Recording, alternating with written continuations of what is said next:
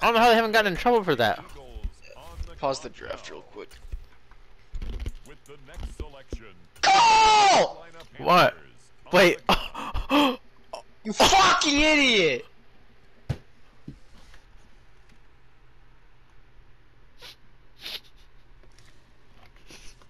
You're a fucking idiot, man.